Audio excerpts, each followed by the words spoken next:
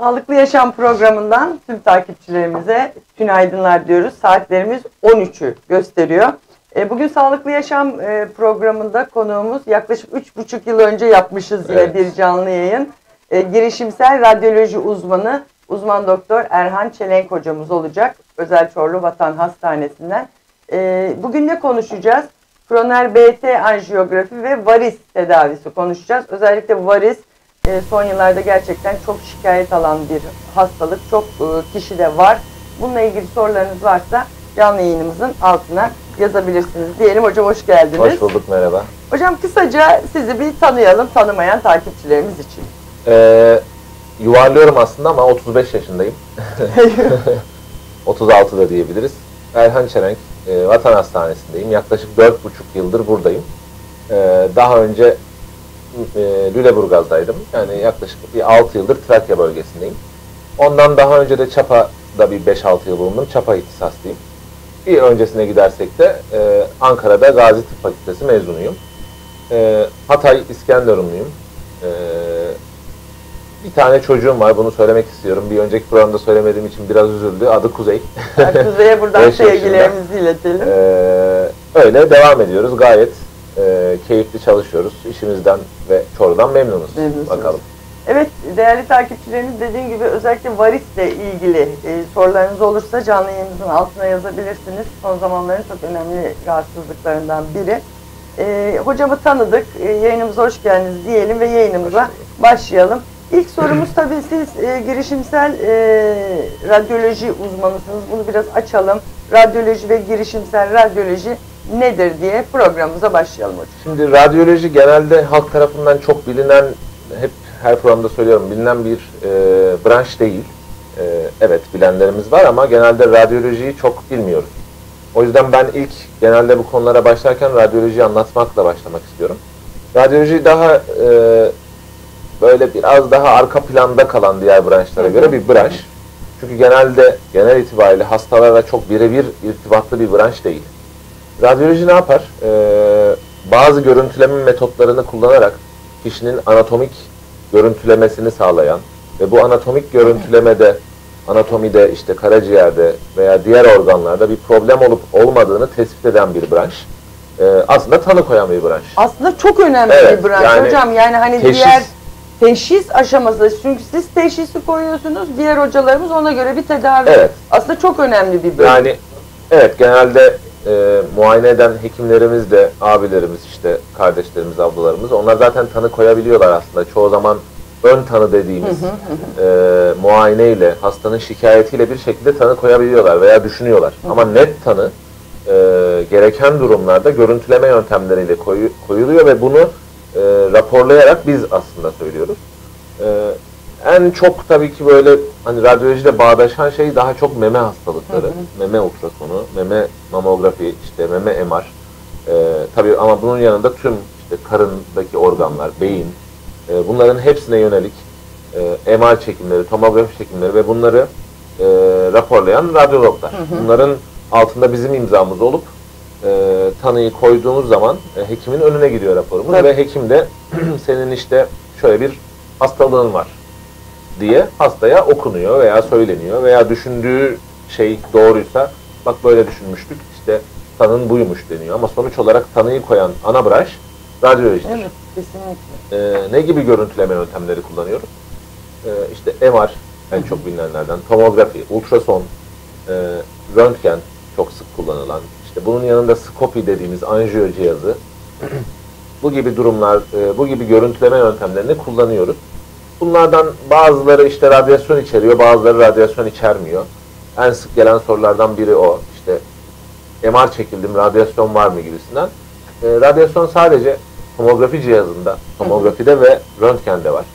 Röntgende çok çok düşük doz. Bir de mamografide var bu arada. Mamografide aslında bir memenin röntgeni diyebiliriz. Dolayısıyla bu e, tetkiklerde radyasyon var. Mamografide e, ve normal röntgende, akciğer grafisinde çok çok düşük doz radyasyon var. Ve e, kişiyi tehlikeye atacak bir doz kesinlikle değil. Hep örnek veriyorum işte mamografide ne kadar doz var veya bazı hastalar mamografi çekilmek istemiyor bu radyasyondan dolayı. Ama mamografideki doz sadece 2 ay cep telefonu taşımakla aynı doz. Yani o kadar düşük. e, biz sonuçta cep telefonunu yanımızdan Hiç ayırmıyoruz. Doğru. Yani yaklaşık yılda 5-6 tane aslında mamografi çekilmiş gibi doz alıyoruz. Hı hı. Ee, ama mamografinin önemini düşündüğümüz zaman bir tane de e, dozu bunun için almamızın tamamen faydalı olduğunu düşünüyoruz. Tomografide tabii ki çok daha yüksek doz radyasyon var. Ee, bir kez hani bu da çok sık geliyor. Bir kez tomografi çekildi mi bir sorun olur mu? Bir tomografi, iki tomografi ile ciddi sorunlar olmaz. Ama bunun da tabii ki bir doz hesaplaması var. Yıllık alınacak doz var.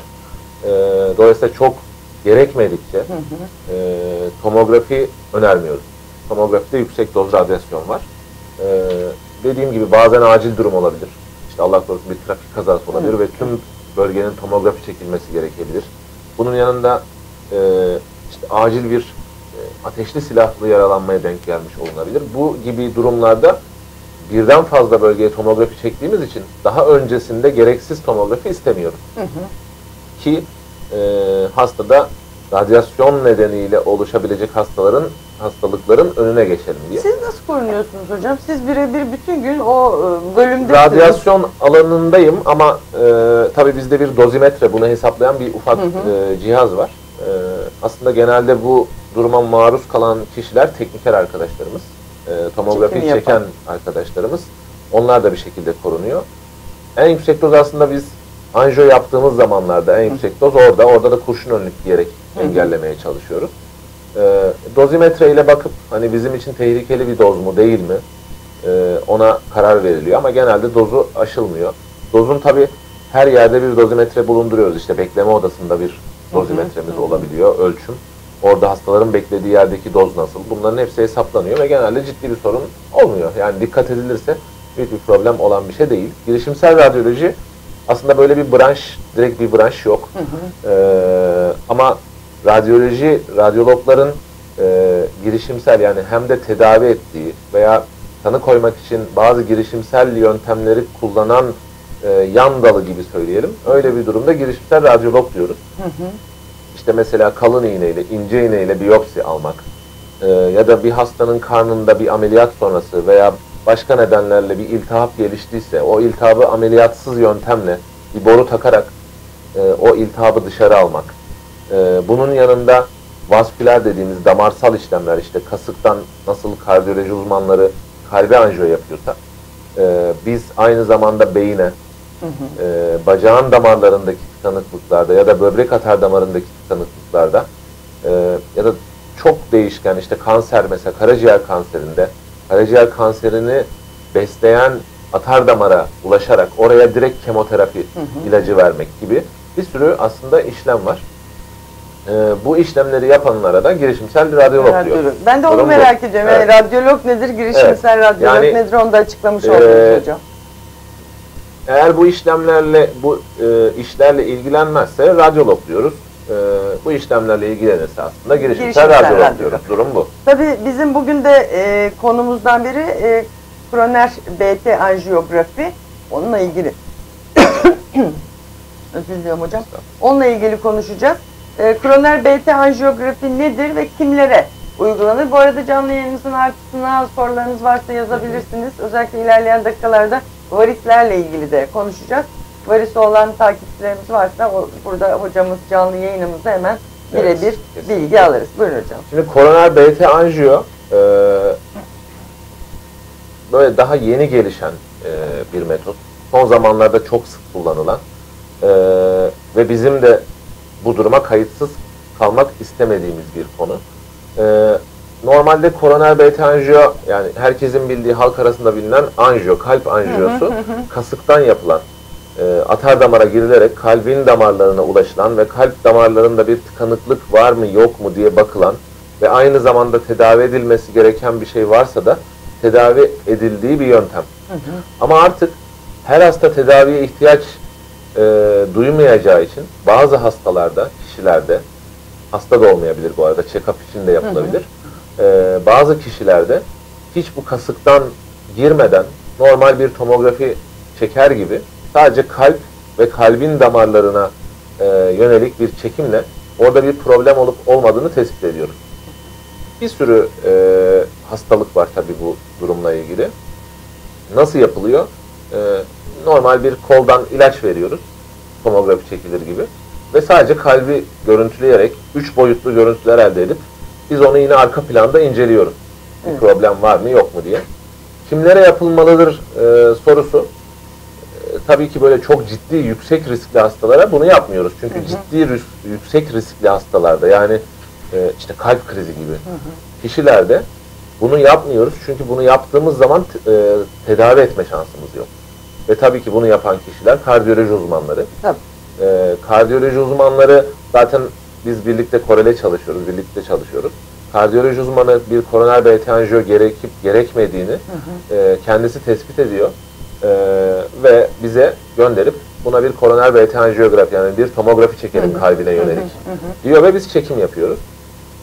Ama zaten uygun görmediği, yüksek riskli bulduğu kişilerde normal klasik anjiyoyu uyguluyor ve aynı zamanda tedavi edilmesi gereken bir şey varsa da işte balonla genişletmek gibi ya da e, stent takmak gibi e, o işlemlere kendisi karar verip kendi branşının uygu, e, gereken şeylerini yapıyor. Sadece kasıktan mı hocam? Bir de bilekten Tabii olan yani var. Koldan da aslında aynı metot.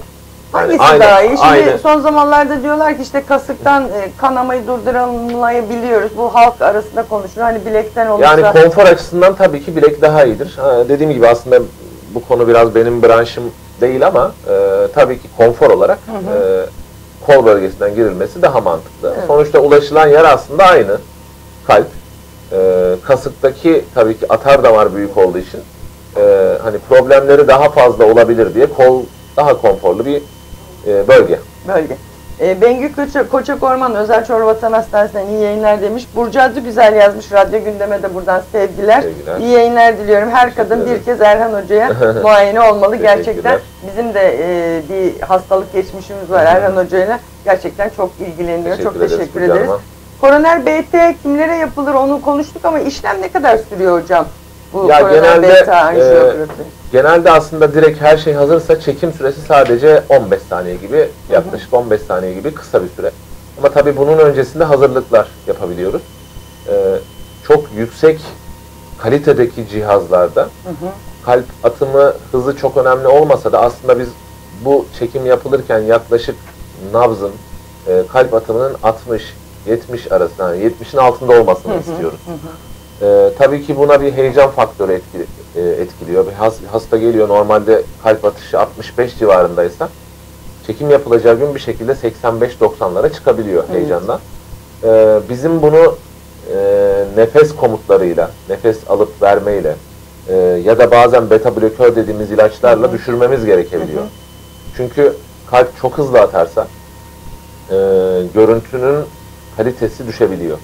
Dolayısıyla işlem öncesinde bir böyle 10-15 dakikalık nefes komutları, nefesle birlikte kalp hızını düşürmek, gerekirse damar yolundan ilaçlar veya daha öncesinde bir iki gün öncesinde ağızdan e, tablet hap vererek e, hastanın nabzını düzenleyebiliyoruz. Bazı kişilerde hiç buna gerek kalmıyor. Zaten düşük. E, 15 saniyede çekiyoruz ve hastayı normal bir şekilde günlük yaşantısına devam ediyor. Aslında avantajı bu. Evet. Yani sanal anjiyo dediğimiz koroner BT anjiyodaki avantaj bu. Normalde klasik anjiyoda e, bir hastanede yatış süreci olur. Atar damardaki kanama var mı yok mu, bir sorun oldu mu olmadı mı diye takipte olur. Ama tomografi, rutin tomografisi çekilip hasta hemen evine gidebilir. Hocam Böyle az önce var. konuşmamızın arasında söyledik aslında ama e, BT anjiyografi hangi hastalıklara yol gösterici oluyor size? Onu yine birazcık Evet, biraz açarsak. açalım. Ee, koroner dediğimiz şey aslında koroner arter yani kalbi besleyen atar damarlara biz koroner arter diyoruz. Kalp bildiğimiz üzere tüm vücuda kanı pompalayan bir organ. Tabii ki aynı zamanda kendisini de beslemesi gerekiyor. Kendisini beslemesi gerekiyor ki kalp daha iyi kasılabilsin. Ee, bu kalpteki e, kalbi besleyen minik atar damarlarda bir e, tıkanıklık var mı yok mu gibi ilk başta aslında tespit etmek istediğimiz durum bu. Ama bunun haricinde normal klasik anjiyoya göre avantajı bu. Aynı zamanda kalbi de görüntüleyebiliyoruz. Normalde kasıktan yapılan anjiyoda damarın içinde geziyoruz. Geziyor kardiyoloji uzmanlarımız. E, dolayısıyla orada sadece e, damarın içini görebiliyoruz. Ama koroner BT anjiyografide kalbin genel yapısını, kalbin kasında bir hastalık olup olmadığını, doğuştan bir e, problem olup olmadığını ya da bu koroner arter dediğimiz kalbin besleyen atar damarlarında değişkenlik olup olmadığını çünkü herkes de aynı şekilde çıkmaz e, atar damarlar. Kimisinde daha farklı bölgelerden çıkar. Bunların hepsinin tespitini sağlayan e, yani aynı zamanda damarın içini ve damarın dışındaki durumları da gösteren bir tetkik. Ve en önemli şeylerden biri tekrar söylüyorum e, hasta günlük yaşantısına devam eder. E, uzun sürmez. 15 saniyelik bir çekim. E, hastanın hastadan tek istediğimiz ilaç verdiğimiz için o ilacın daha hızlı atılmasını sağlamak için bol su tüketilmesi bu kadar. Yani çok fazla bir sonrasında da bir yapacağı bir durum yok. Kısa sürmesi avantaj. Çok büyük Başka avantaj. avantajları var mı hocam? Ee, dediğim gibi damarın içinden ziyade en büyük avantajlarından biri bu. Damarın içinden ziyade damarın dışındaki tüm yapıları göstermesi. Ee, bir de klasik anjiyo e, nun en büyük aslında altın standart dediğimiz durum klasik anjiyo yine. Yani çünkü en önemli durumu hastayı aynı zamanda tedavi edebiliyorsun klasik anjiyoda. Bizde bir tedavi durumu yok. Ee, ama tespit durumu var, teşhis durumu var. O yüzden yüksek riskli hastalarda yani tedavi edilebilme ihtimali çok yüksek hastalarda normal klasik anjiyo uyguluyoruz. Bazı hastalarda düşük riskli bunlar nedir? Ee, mesela göğüs ağrısı var bir kişinin ya da nefes darlığı yaşıyor ya da ailesinde böyle bir ciddi kalp rahatsızlıkları var ya da ciddi bir obezitesi var. Ee, çok sigara kullanıyor. Yüksek tansiyon hastası, işte şeker hastalığı var falan. Hani çok düzenli şeker hastalığı değil böyle düzensiz, kontrolsüz diyabet dediğimiz şeker hastalığı var.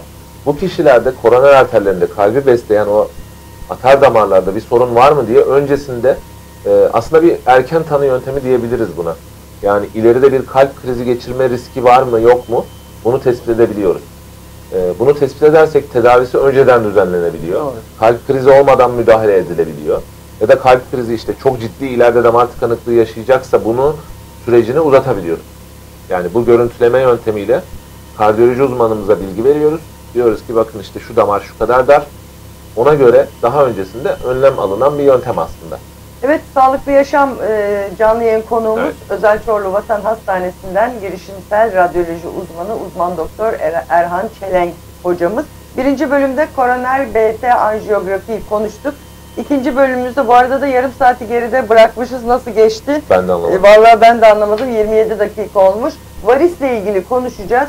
Varis şikayeti olan takipçilerimiz varsa lütfen canlı yayınımızın altına bu konuyla ilgili e, fikirlerine başvurmak için hocamıza yazabilirler diyelim. Hocam varis nedir? Öncelikle oradan bir girelim. Varise yani girmeden önce çok ufak bir ekleme daha yapayım. Ee, ben işte 35-36 yaşındayım. Ailemde ciddi anlamda bir kalp Hı hı. problemi var. İşte babamı 52 yaşında kalp krizinden kaybettim. Sağ olun. Ee, ben de mesela kalp damarlarında bir problem var mı diye e, yani şeker hastalığım yok, yüksek tansiyonum yok ama bir şekilde kalp hani bu kadar erken yaşta aile Evet. de Var. vefatların olması e, kişinin kendi damarlarının kontrolü açısından önemli. Yani dediğim gibi aile öyküsü bu aslında işte e, amcada, babada, annede e, yani yakın kesimde 50 yaş civarında ani ölümler, kalp krizi e, ya da işte ciddi yüksek tansiyon bu gibi durumlarda hiçbir şikayet olmasa da yapılabilir. Evet altını çizerek. Hiçbir şikayet yapı, e, olmasa da yapılabilir. Ama bunun yanında ufak tefek göğüs ağrısı, e, hafif nefes darlığı gibi durumlarda da e, bunu yaptırıp kalp damarlarında bir sorun olup olmadığı tespit edilmeli. Bu çok uzun zamandır yapılan bir yöntem değil. E, biz de e, bu önemli gelişmeye kayıtsız kalamadık. Bizim hastanemizde de bu mevcut. E, bir de son şeyi de ekleyeyim normal klasik anjiyoya göre tanı değeri nedir? Tabii ki tekrar söylüyorum. Altın standart klasik anjiyodur. Ee, normal bir damarı belirlemede koroner BT anjiyo %100'e yakın sonuç verir. Oo, çok iyi. Yani bu damar normal diyorsak o %100 doğrudur. %100 var mı tıpta hocam? Evet, %99,9. %100 aslında. Ama bir net. hastalığı tespit etmede, Hı hı. e, bir darlığı net tespit etmede klasik e, anjiyo %100'dür. Normal anjiyo. Bir- Koroner BT anjiyoda bu oran %97-98'dir. Yani %98, her 100 hastanın 98'inde e, doğruluk oranı bu kadar yüksektir ve nettir. Anlatabildim mi? O yüzden Çok evet. kısa sürede çekim yapılması ve bu kadar yüksek e, bir oran e, bu işlemi aslında değerli kılıyor. Yani özellikle ailede hocamın dediği gibi erken yaşta kalp krizi, kanser riski varsa bu beta anjiyografinin iyi olsak bile Evet.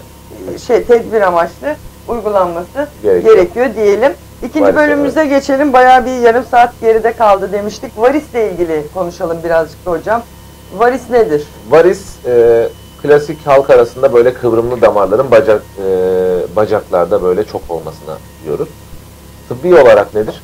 Genelde kirli kan, genelde değil, kirli kan her zaman kalbe doğru taşınır bacaklardan ve diğer yerlerden de. Bacaklarda da şöyle bir fark var. Normalde yer çekiminden dolayı aslında düşünülmesi gereken bu.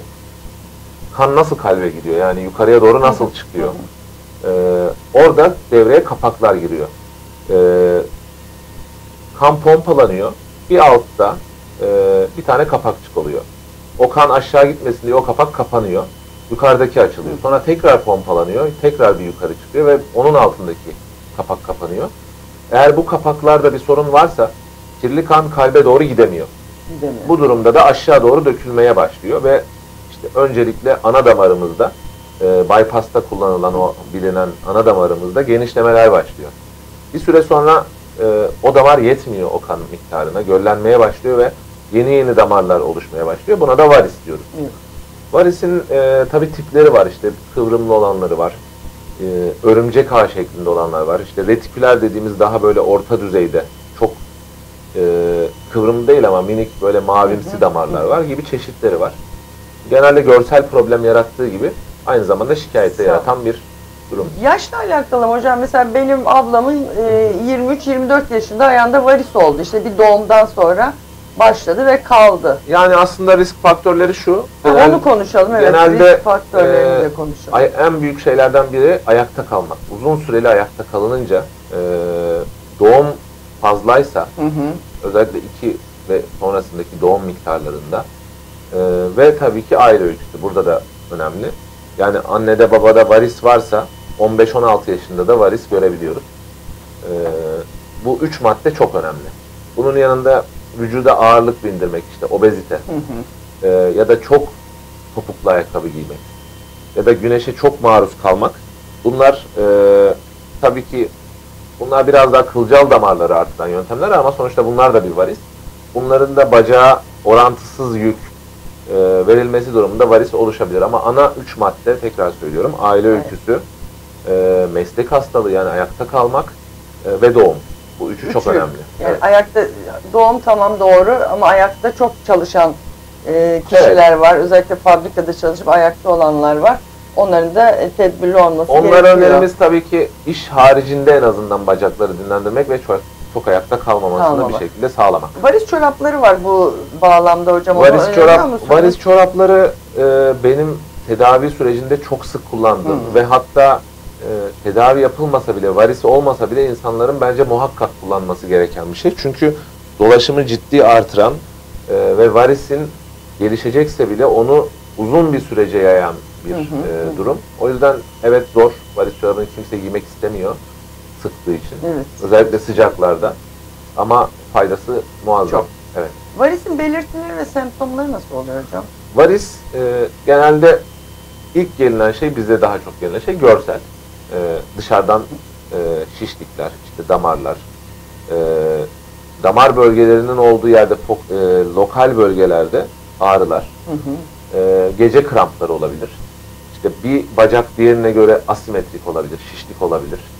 E, bazen hissizlik ve kaşıntı şikayetiyle de gelebiliyor hastalar. Daha ziyade bunlar, Bunlar. belirtileri. E tabi varisi olduk hocam. Tanısı kondu. Nasıl tedavi Varisin olacağız? e, tabi tanısı önemli aslında. E, tanısı şu yüzden önemli, ona göre tedavi planını çiziyoruz. Biz genelde e, vatan hastanesinde bunu uyguluyoruz. E, hastalarımızı tabi sosyal medyadan, oradan e, birkaç yerden bir şekilde bize ulaşılıyor ve hani köpük tedavisi mi yapalım, onu mu yapalım gibi sorular geliyor. Biz burada ilk söylediğimiz şey bizim sizi muayene etmemiz gerekiyor. Yani damarlarınızdaki problemi bilmemiz lazım. Sorun ana damarınızda mı? O az önce anlattığım kapakların olduğu yerde mi? Yoksa sadece dışarıdan yüzeysel mi? Eğer ana damarda bir problemimiz varsa onu Doppler ultrasonla yani renkli ultrasonla tanısını koyuyoruz. E, iç damarda bir problem tespit edersek hastaya e, ameliyatsız yöntem yine ama ameliyathanede yapılan o damarı yakma işlemini öneriyoruz. Hmm. Şimdi eskiden artık onun yerini aldı ameliyatsız yöntem. Ana damarda bir sorun varsa işte kasıktan, e, diz seviyesinden, ayak bileğinden kesiler yapılarak kalp damar cerrahları tarafından e, o damar dışarı alınıyordu. Hmm. Artık e, o damarı dışarı almaya gerek kalmayan ama o damarı da etkisiz hale getirmemiz gereken bir yakma yöntemini uyguluyoruz. Sadece diz altından işte ayak bileğinden de girilebilir, diz altından veya biraz daha yukarıdan damarın içine giriyoruz ve bir boru yardımıyla kasığa kadar o ana damarın e, en ucuna kadar o boruyu ittiriyoruz. Sonra işte bir lazer cihazı olabilir, bir radyo frekans ısıyla yakma yöntemi olabilir. E, o boruyu yavaş yavaş o damarı yakarak dışarı doğru çekip o delikten çıkartıp bitiriyoruz. Yani sadece bir iğne deliğinden o damarı etkisiz hale getiriyoruz.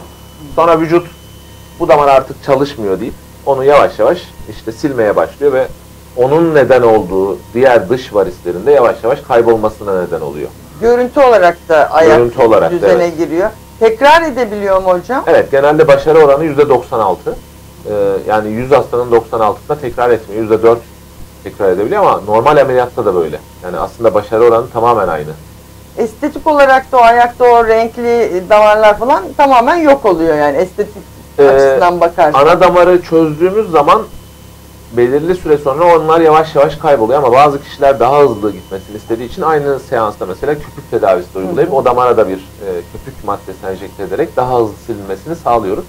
Genelde beklenti işte hemen bitsin bunlar gibi oluyor ama hep söylüyorum yani nasıl varis bir günde 10 günde oluşmadıysa Hı hı. onların tamamen kaybolması, kurtulmamız, şikayetleri vesaire böyle bir günde, beş günde, on günde olacak bir şey değil. Varis tedavisi hep söylüyorum sabır gerektiren bir e, tedavi yöntemi. E, mesela bazı hastalarımda şunu gördüm mesela köpük tedavisi uyguladığımız hastalardan. 5. ayda bu işlemden çok memnun kalmadığını söyleyip 8. ayda, 7. ayda tamamen gitti hocam dediği dönemler oldu Oluyor. e, hastalarımız oldu. Dolayısıyla bir sabır işi. Ama bunun yanında bizim tedavi sonrası hem e, radyo frekans dediğimiz işte yakma yöntemi hem de köpük tedavisi. Hı hı. Bunlardan sonra ciddi önerilerimiz oluyor. Yani çok agresif, çok e, net bir varis çorabı kullanımı mesela. Genelde buna ciddi riayet eden, e, ayakta çok kalmayan, e, verdiğimiz önerileri uygulayan kişilerde çok daha iyi sonuç alıyoruz. Bazı tabii yan şeyler oluyor, kantaron yağı gibi böyle kullanımlar. E, bunların da faydasını görüyoruz. E, ama bir şekilde buna iyi uyan kişilerde, sigara kullanımını azaltan varsa eğer, bu kişilerde çok daha iyi sonuçlar elde ediyoruz. Yediğimizle içtiğimizle çok alakalı bir durumu Yok, yok o çok zaman. bir bağlantı Böyle yok. Sadece obeziteyle var. Obeziteyle var. Yani Yine. çok yersek kilo, işte bacaklara yük, e, bacaklara yük bindiği için de damarın çok iyi çalışamaması nedeniyle varis oluşumu. Peki hocam tedavi edilmezse varis hani böyle çok önemli bir hastalık mı? Öldürür mü yani sonuçta tedavi Yani- edilmezse? Şöyle çok ileri dönemde bacaklarda yaralar, Hı hı. e, bacaklarda ciddi enfeksiyonlar veya işte en çok merak edilen akciğere pıhtı atar mı, damarımızda pıhtı oluşur Evet, mu? Bunlar tabii ki ediyorum. olabilir ama genelde bunlar bu işin çok ileri dönemi. Yani onun için neredeyse dışarıdan çok büyük büyük kıvrımlı damarlar görmemiz lazım. O durumda tabii ki çok geç olmadan e, tedavi edilmeli. Çünkü ciddi anlamda derin ven trombozu dediğimiz pıhtı oluşumu bir şekilde akciğere pıhtı atımına neden olur. Ama en çok sorulan işte e, küçük kılcal damarları var. Ya da minik mavi damarları var. İşte ben korkuyorum bunlar başıma bela olur mu? Hemen önlemini almak istedim. Bu kadar acil hemen önlemini alınacak bir şey değil. Tabii ki görsel olarak problem varsa çözülebilir. Bunun yanında şikayetler varsa azaltılabilir. Ama öyle hemen bir minik mavi görüp de akciğerime pıhtı atar gibi O düşünmeye gerek da- yok. O süreç belki 20 yıllık, 15 yıllık uzun bir süreç. O kadar hızlı Spor değil. ve egzersiz yapmayla e, düzelecek bir şey mi hocam? Ee, spor ve egzersiz yapanlarda dolaşım arttığı için e, bu kişilerde tabii ki varis gelişimi gelişecekse daha uzun sürece yayılır. Evet. Ee, ama tabii ki bu, e, bunun da fazlası zarar. Mesela çok uzun böyle süreli bisiklet kullananlar oluyor mesela. Öyle hastalarımız var işte. Günde 20 kilometre, 30 kilometre e, bisiklet kullananlar da. Yani evet. bunu ne kadar çok kullanırsan da varis gelişimini artırır. Ama dozunda bir spor her zaman varise iyi gelen, varisi azaltan. Hatta biz işlemlerden sonra bile hastaya yürüyüş yapın, azıcık Evet. bacağın dolaşımını artırın diye önerilerde bulunuyoruz. O yüzden sporun her şeye katkısı olduğu gibi buna da var. Var. Ama tabii ki dozunda. Merdiven çıkmak hocam etkiliyor mu?